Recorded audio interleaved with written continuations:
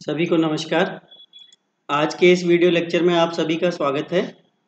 आज के इस वीडियो लेक्चर में हम programming and problem solving through C, जो कि सेकेंड ईयर कंप्यूटर साइंस का सब्जेक्ट कोड 201 है, एवं साथ ही साथ सी प्रोग्रामिंग के नाम से मैकेनिकल सेकेंड ईयर का सब्जेक्ट एम ए दो सौ दस है, उसके chapter two elements of C के अगले पार्ट में टॉपिक 2.5 ऑपरेटर्स के पहले भाग में आज हम ऑपरेटर्स पर चर्चा शुरू करेंगे आज के इस लेक्चर से।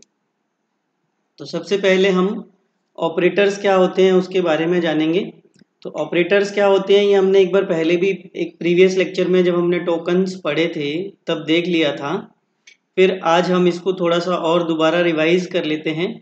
तो ऑपरेटर इज़ ऑपरेटर क्या होता है? ऑपरेट करने वाला। An operator is a symbol that tells the compiler to perform certain mathematical और लॉजिकल ऑपरेशंस और मैनिपुलेशंस यानी कि ऑपरेटर एक सिंबल होता है जो कि कंपाइलर जो है हमारा सी का या जो सॉफ्टवेयर है हमारा उसको बताता है कि क्या मैथमेटिकल यानी कि गणितीय, या लॉजिकल तार्किक ऑपरेशन परफॉर्म करना है या मैनिपुलेशन परफॉर्म करनी है। यानी कि ऑपरेटर एक सिंबल होता है सी में, जो कि कंपाइलर को यह बताता है कि किस तरह का या कौन सा मैथमेटिकल या लॉजिकल ऑपरेशन परफॉर्म करना है। The data items on which operators act upon are called operands यानी कि वे वैल्यूज़ जिन पर की ऑपरेशन परफॉर्म किया जाता है, उसे हम ऑपरेंट कहते हैं। फॉर एग्ज़ाम्पल यदि मुझे दो नंबर हैं ए और बी इन पर मुझे एडिशन परफॉर्म करना है तो उसके लिए सिंबल जो होता है हमारे पास, वो होता है ये प्लस का साइन ये हम सभी जानते हैं। तो यह तो हमारा कहलाएगा ऑपरेटर। और जिस पर हम ऑपरेशन परफॉर्म कर रहे हैं डेटा वैल्यूज़ पर, ये कहलाएँगे हमारे क्या? ऑपरेंट्स यानी जिस पर ऑपरेशन परफॉर्म किया जा रहा है, जिस, उसे डेटा भी कह देते हैं, हम वैल्यूज़ भी कह देते हैं, और जनरल एक टर्म जो यूज़ की जाती है, वह है ऑपरेंट्स तो ऑपरेंट क्या होते हैं? जिन पर ऑपरेशन परफॉर्म किया जाएगा। अब depending on number of operands that an operator can act upon operators can be classified as unary binary and ternary operators यानी कि किसी ऑपरेशन में कितने ऑपरेंड होंगे जिन पर ऑपरेशन परफॉर्म किया जा रहा है, उस आधार पर ऑपरेटर्स को तीन कैटेगरी में बांटा जाता है यूनरी यूनरी का मतलब जिसमें एक ही ऑपरेंड होगा बाइनरी मतलब जिसमें दो ऑपरेंड होंगे, और तीसरा है हमारा टर्नरी यानी कि जिसमें तीन ऑपरेंड होते हैं।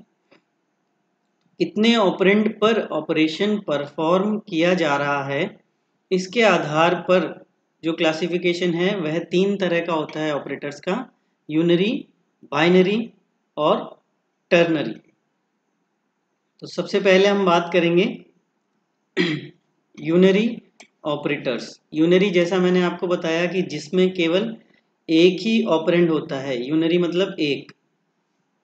तो those operators that require only single operand to act upon are known as unary operators यानी कि वे ऑपरेटर्स जिन्हें ऑपरेशन परफॉर्म करने के लिए केवल एक ही ऑपरेंड की आवश्यकता होती है, उन्हें हम यूनरी ऑपरेटर कहते हैं। उदाहरण के लिए, इंक्रीमेंट और डिक्रीमेंट ऑपरेटर्स। ये एक सिंगल प्लस या माइनस जो है अकेला, वैसे तो ये अरिथमेटिक ऑपरेटर हैं, पर अगर हम इसको केवल किसी एक ही ऑपरेंड पर अप्लाई करें तो यह यूनरी ऑपरेटर कहलाता है। जैसे माइनस एक्स माइनस सिक्स तो यहाँ पर ये एक ही ऑपरेंड है, एक ही वैल्यू है तो ये यूनरी ऑपरेटर कहलाता है। इसी तरह से इंक्रीमेंट और डिक्रीमेंट इंक्रीमेंट ऑपरेटर होता है प्लस प्लस और डिक्रीमेंट ऑपरेटर होता है हमारा माइनस माइनस प्लस प्लस का मतलब होता है, जैसे मान लीजिए मैंने लिखा प्लस प्लस ए तो प्लस प्लस ए का मतलब है इसका मतलब है कि ए की वैल्यू एक से इंक्रीज हो जाएगी। ए प्लस वन हो जाएगा। और अगर मैंने लिखा माइनस माइनस बी तो इसका मतलब है बी की वैल्यू एक से डिक्रीज हो जाएगी। बी माइनस वन तो ये इंक्रीमेंट और डिक्रीमेंट ऑपरेटर होते हैं और ये चूँकि एक ही ऑपरेंट पर वर्क कर रहे हैं यह आप देखें तो ये एक ही ऑपरेंट है। एक ही वैल्यू है जिस पर ये कार्य कर रहा है। इसलिए इसे हम क्या कहते हैं? यूनरी ऑपरेटर कहते हैं। नेक्स्ट आता है हमारा बाइनरी ऑपरेटर्स तो बाइनरी ऑपरेटर क्या होगा? बाइनरी ऑपरेटर वह होता है जिसमें दो ऑपरेंड होते हैं। Those operators that require two operands to act upon are called binary operators यानी कि वे ऑपरेटर जिन्हें ऑपरेशन परफॉर्म करने के लिए दो ऑपरेंड की या दो डेटा वैल्यू की आवश्यकता होती है, वे बाइनरी ऑपरेटर कहलाते हैं। इसका उदाहरण हमारा सिंपल एडिशन है। हमको अगर एडिशन परफॉर्म करना है तो हम क्या लिखते हैं? ए प्लस बी अगर मुझे दो नंबर को ऐड करना है तो हम, ये अरिथमेटिक ऑपरेटर है प्लस का साइन जो होता है हमारा एडिशन तो इसके लिए हमें कितने चाहिए? एक और एक दो।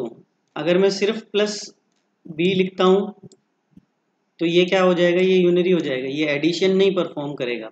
अगर मुझे एडिशन परफॉर्म करवाना है तो उसके लिए मुझे दो वैल्यूज़ की आवश्यकता होगी ही होगी। यानी कि दो ऑपरेंड नहीं होंगे तो मैं एडिशन परफॉर्म नहीं कर सकता हूँ। और बाइनरी ऑपरेटर्स जो हैं, उसके और कैटेगरी हैं वह हैं हमारी अरिथमेटिक ऑपरेटर्स जिसमें हमारे मैथमेटिकल ऑपरेशंस आएँगे सारे। रिलेशनल ऑपरेटर्स जो रिलेशन इस्टेब्लिश करते हैं ऑपरेंट्स के बीच में कंपैरिजन ऑपरेटर भी कहते हैं हम इनको लेस देन ग्रेटर देन जो आएँगे। आगे हम डिटेल में अभी पढ़ेंगे। आज के लेक्चर में हम आगे शुरू कर देंगे इसको पढ़ना डिटेल में। लॉजिकल ऑपरेटर्स जो कि लॉजिकली चेक करते हैं ट्रू या फॉल्स की वैल्यू को कंपेयर करते हैं और उसका रिज़ल्ट हमें ट्रू या फॉल्स में देते हैं। फिर उसके बाद आता है असाइनमेंट ऑपरेटर असाइनमेंट ऑपरेटर जो वैल्यू असाइन करने का काम करता है, जो हम इक्वल का साइन हम पढ़ते हुए आ रहे हैं अभी तक, वो क्या है? ये इक्वल का साइन क्या करता है? असाइन करता है वैल्यू इसको डिटेल में आगे हम पढ़ेंगे, इन सभी को इंडिविजुअली हर एक को अलग अलग पढ़ेंगे हम डिटेल में। बिटवाइज ऑपरेटर वे ऑपरेटर होते हैं। जो कि बिट पर काम करते हैं। बिट पर काम करते हैं मतलब कि कोई भी नंबर है, वो एक्चुअली बिट्स की फॉर्म में ही स्टोर होता है। तो जो बिट्स हैं, उन पर जो ऑपरेशन परफॉर्म करने के लिए हम ऑपरेटर काम में लेते हैं, वे बिट वाइज ऑपरेटर कहलाते हैं। फिर इसके बाद आता है हमारा टर्नरी ऑपरेटर्स टर्नरी ऑपरेटर्स क्या होंगे? वे ऑपरेटर होंगे जिनमें तीन ऑपरेंड की आवश्यकता होती है, जो तीन ऑपरेंड पर कार्य करते हैं। These operators requires three operands to act upon यानी कि तीन ऑपरेंड होंगे जिसमें वो कहलाएगा टर्नरी ऑपरेटर इसका एग्ज़ाम्पल है ये सेमी कॉलन और क्वेश्चन मार्क ठीक है, इसको डिटेल में हम बाद में पढ़ेंगे, इस तरह से लिखते हैं हम इसको। नहीं, पहले क्वेश्चन मार्क आएगा। ए इस तरह से यहाँ कंडीशन लिखी जाती है एक्चुअली इसको आप ए वन मान लो ए वन क्या है? एक्सप्रेशन आएगा। ई e कह देते हैं हम इसको। Expression one question mark expression two colon expression three इस तरह से ये लिखा जाता है। इसका मतलब क्या होता है कि अगर ये कंडीशन ट्रू है तो रिज़ल्ट ये आएगा, और अगर कंडीशन फॉल्स है तो रिज़ल्ट ये आएगा। इसको भी डिटेल में हम पढ़ेंगे, आगे आने वाली हमारे जो लेक्चर्स होंगे, उसमें इसको डिटेल में पढ़ेंगे। तो ये ब्रॉड क्लासिफिकेशन हो गया किसका? ऑपरेटर्स का। किस आधार पर? कि उसमें कितने ऑपरेंड काम में लिए जा रहे हैं, उस आधार पर इसका क्लासिफिकेशन हो गया, जो कि क्या होगा? यूनरी बाइनरी और टर्नरी ये तीन तरह के ऑपरेटर होते हैं। अब इन तीनों तरह के अंदर जो भी क्लासिफिकेशन है, जैसे ये पाँच हमने देखे हैं, अभी बिटवाइज असाइनमेंट लॉजिकल रिलेशनल और अर्थमेटिक इन सभी का हम एक एक करके अब अध्ययन करेंगे। So there are total eight type of operators ये हमने देख ही लिया अभी। सात हमने देख लिए हैं। आठवां हमारा स्पेशल ऑपरेटर होता है। अर्थमेटिक ऑपरेटर जो कि बाइनरी है। रिलेशनल ऑपरेटर ये भी बाइनरी है। लॉजिकल ऑपरेटर ये भी बाइनरी है। असाइनमेंट ऑपरेटर यह भी बाइनरी है। इंक्रीमेंट या डिक्रीमेंट यूनरी ऑपरेटर है। कंडीशनल ऑपरेटर हमारा टर्नरी ऑपरेटर है बिटवाइज ऑपरेटर ये बाइनरी है, और लास्ट में आएँगे हमारे स्पेशल ऑपरेटर्स जो हमने ये अभी सात देखे, जो हमारी तीन कैटेगरी में आ रहे थे यूनरी बाइनरी और टर्नरी इन तीन कैटेगरी में जो आ रहे थे, उसके अलावा जितने भी और ऑपरेटर होंगे, वो सभी कहलाएँगे हमारे स्पेशल ऑपरेटर्स चलिए हम एक एक करके इन सबको पढ़ेंगे। तो आज के लेक्चर में हम अरिथमेटिक ऑपरेटर्स के बारे में पढ़ेंगे तो हम शुरू करते हैं हमारे अरिथमेटिक ऑपरेटर्स अरिथमेटिक ऑपरेटर्स क्या होते हैं? जैसा कि मैंने आपको बताया था कि वे ऑपरेटर्स जो कि अरिथमेटिक ऑपरेशंस परफॉर्म करते हैं, यानी कि गणितीय ऑपरेशन या गणनाएँ करने के काम में जो आते हैं, उन्हें हम अरिथमेटिक ऑपरेटर्स कहते हैं। ये वे ऑपरेटर हैं जो हम अभी तक नॉर्मल उसमें पढ़ते हुए आ रहे हैं, जो आपका मैथ्स सब्जेक्ट है, गणित है, उस गणित में हमने ये सारे ऑपरेटर्स पढ़े हुए हैं। तो ये ऑपरेटर कौन कौन से होते हैं? प्लस यानी कि जो एडिशन परफॉर्म करेगा, प्लस का ऑपरेशन करेगा, दो नंबर को जोड़ने का काम करेगा, दो वैल्यूज़ को, माइनस यह दो वैल्यूज़ को सब्ट्रैक्ट करने का काम करेगा, मल्टीप्लिकेशन जो मल्टीप्लाई करने का काम करेगा डिवीज़न डिवाइड करने का काम करेगा, और ये परसेंट का साइन है, ये होता है हमारा मॉड्यूलो डिवीज़न अभी हम देखेंगे इनको तो मैं आपको अभी डिटेल में बताऊँगा इसको। मॉड्यूलो डिवीज़न क्या करता है? ये हमारा रिमाइंडर ऑपरेटर होता है। रिमाइंडर रिमाइंडर मतलब शेष फल यानी कि ये दो नंबर जब हम भाग देते हैं, उसका जो शेष फल बचता है, वह हमें देगा। रिमाइंडर देगा, शेषफल देगा ये। तो यह हमने अभी जो हम मैथ्स पढ़ते हैं, उसमें काम में नहीं लिया होगा। फिजिक्स वगैरह में आपने इसको काम में भी लिया होगा, और नहीं भी लिया होगा तो हम अभी इसको डिटेल में भी देख लेंगे कि इससे क्या ऑपरेशन परफॉर्म होता है। तो चलिए एक एक करके हम इन सभी को देखते हैं। सबसे पहले आता है हमारा प्लस, यानी कि एडिशन ऑपरेशन। ये क्या करता है? एड्स टू ऑपरेंट्स दो ऑपरेंट्स को जोड़ने का यह कार्य करता है, उनको प्लस का काम करता है और हमें रिज़ल्ट में उन दोनों को जोड़ के जो वैल्यू आएगी वह वैल्यू दे देता है। अगर अकेला काम में लिया जाए तो ये यूनरी प्लस का भी काम करता है, यानी कि साइन को रिप्रेजेंट करने का भी यह काम करता है। मैं यहाँ पर ले रहा हूँ ए और बी दो वेरिएबल ले लिए मैंने और ए की वैल्यू मैं मानता हूँ सपोज़ दस है और बी की वैल्यू पाँच है। ठीक है? तो ए और बी की वैल्यू दस और पाँच होने पर यदि मैं एडिशन ऑपरेशन परफॉर्म करूँगा तो क्या होगा? ए प्लस बी जब मैं करूँगा तो यह मुझे रिज़ल्ट क्या देगा? यह मुझे रिज़ल्ट देगा कि ए और बी की जो वैल्यू है उसको जोड़ के मुझे रिज़ल्ट में 15 मिल जाएगा। और अगर मैं अकेला यूज़ करता हूँ इसको तो मैं यूँ लिख सकता हूँ प्लस ए जनरली हम लिखते नहीं है प्लस का साइन आपको भी पता है। माइनस का ही अगर हो कोई तो लिखते हैं। तो ये क्या कहलाएगा? यूनरी प्लस कहलाएगा। अगर सिंगल ऑपरेंट के साथ इसे हम काम में लेते हैं तो। नेक्स्ट आता है हमारा माइनस का या सब्ट्रैक्शन के लिए जो हम काम में लेते हैं। तो ये माइनस का साइन क्या करेगा? यह है हमारा operator subtract second operand from the first यानी कि जो दूसरा ऑपरेंड आएगा, जो दो ऑपरेंड होंगे, इसी उदाहरण को लेके चल रहा हूँ मैं, जहाँ पर हमारा ए और बी की वैल्यू है ए की वैल्यू दस है बी की वैल्यू पाँच है। तो अगर मैं यहाँ पर लिखता हूँ ए माइनस बी तो यह क्या करेगा? जो दूसरा वाला है सेकंड ऑपरेंड है, उसको पहले में से घटा देगा। यानी कि इस पहले ऑपरेंड में से इसको घटा देगा। तो इसका जो रिज़ल्ट होगा वह हमें क्या मिलेगा? ए की वैल्यू टेन है बी की वैल्यू फाइव है तो रिज़ल्ट में हमें मिल जाएगी वैल्यू फाइव इसी तरह से अगर ए की वैल्यू चेंज कर देता हूँ, मैं ए की वैल्यू सपोज़ फाइव कर देता हूँ और बी की वैल्यू टेन कर देता हूँ। उसके बाद मैं ये ऑपरेशन परफॉर्म करता हूँ ए माइनस बी तो रिज़ल्ट में मुझे क्या मिल जाएगा? पाँच में से दस जाएँगे तो कितने बचेंगे? माइनस पाँच। तो ये माइनस फाइव। ये मुझे रिज़ल्ट में मिल जाएगा। सिंपल है जो हम करते आए हैं, अभी तक इसमें तो कोई प्रॉब्लम नहीं है। फिर है, यूनरी माइनस का भी ये काम करता है। यानी कि अगर अकेला, जैसे माइनस फाइव लिखता हूँ मैं तो ये क्या कहलाएगा? यूनरी माइनस कहलाएगा।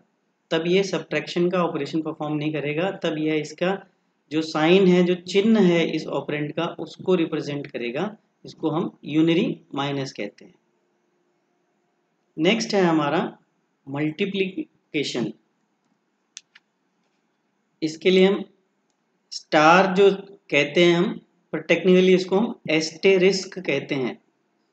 एस्टेरिस्क का जो साइन है या स्टार का जो सिंबल है, यह मल्टीप्लीकेशन को रिप्रेजेंट करता है। तो अगर मैं लिखता हूँ ए स्टार या एस्टेरिस्क बी तो इससे रिज़ल्ट मुझे क्या मिलेगा? इसी उदाहरण को लेके चल रहा हूँ मैं। ए की वैल्यू 10 है बी की वैल्यू 5 है तो ये इन दोनों को क्या करेगा? मल्टीप्लाइज बोथ ऑपरेंट्स दोनों ऑपरेंट्स को मल्टीप्लाई कर देगा और इसकी वैल्यू क्या आ जाएगी? 10 गुना पाँच करेगा तो 50 हमको ये रिज़ल्ट में वैल्यू दे देगा। सिंपल साधारण ऑपरेशन है। फिर उसके बाद आता है हमारा डिवीज़न ऑपरेटर स्लैश का साइन जो है हमारा स्लैश भी कहते हैं हम इसको डिवाइड्स नोमिनेटर बाय डिनोमिनेटर यानी कि अगर मैं लिखूं ए स्लैश बी तो इसका मतलब क्या होगा? दस डिवाइड बाय पाँच। दस में पाँच से भाग दे देगा और आंसर हमारे को मिल जाएगा कितना? दो। यानी कि ये नोमिनेटर है। ऊपर वाली जो संख्या होती है और डिनोमिनेटर कौन सा होता है? जो नीचे वाली संख्या होती है, जिससे भाग देना है वो डिनोमिनेटर होता है और जिसको भाग देना है वो नोमिनेटर होता है। तो ये इसको विभाजित करके और जो भी रिज़ल्ट होगा इसका वह हमें रिज़ल्ट में दे देगा।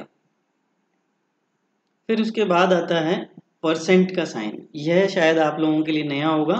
इसको हम मॉड्यूलो डिवीज़न भी कहते हैं या सिंपल रिमाइंडर ऑपरेटर भी कहते हैं। यह क्या करता है? Gives remainder after an integer division या मॉड्यूलो डिवीज़न भी इसे हम कहते हैं। तो यहाँ वाले केस में अगर हम देखें, अगर मैं लिखता हूँ ए परसेंट फाइव बी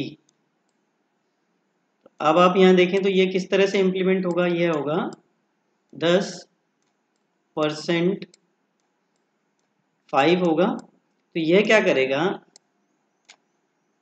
ए को बी से विभाजित करता है ये, और जो भी शेषफल बचता है, वह हमें दे देता है। तो क्या करेगा ये? दस में पाँच का भाग दें तो क्या आता है हमारा? दो से विभाजित हो जाएगा ये, पाँच गुना दस होता है। तो दो से विभाजित हो जाएगा और शेषफल कितना रह जाएगा हमारा? क्योंकि पूरा पूरा विभाजित हो गया तो शेषफल कितना रह जाएगा? ज़ीरो। तो इस केस में ये क्या दे देगा मुझे? रिज़ल्ट देगा ज़ीरो। एक और उदाहरण देखते हैं हम। सपोज़ ए की वैल्यू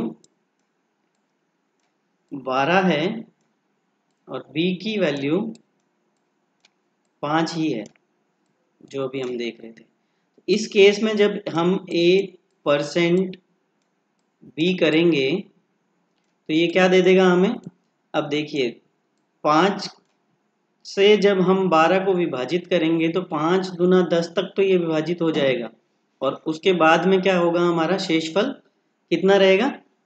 दो रह जाएगा। तो यहाँ आंसर कितना आ जाएगा? रिमाइंडर ऑपरेटर से दो आ जाएगा। यानी कि जो मॉड्यूलो डिवीज़न या रिमाइंडर ऑपरेटर है, यह हमें जिन भी ऑपरेंट पर हम परफॉर्म कर रहे हैं, उसमें विभाजित करने के बाद जो शेषफल बचता है, वह शेषफल हमें दे देता है। यानी कि रिमाइंडर दे देता है और यही इसका नाम भी है ऑपरेटर का।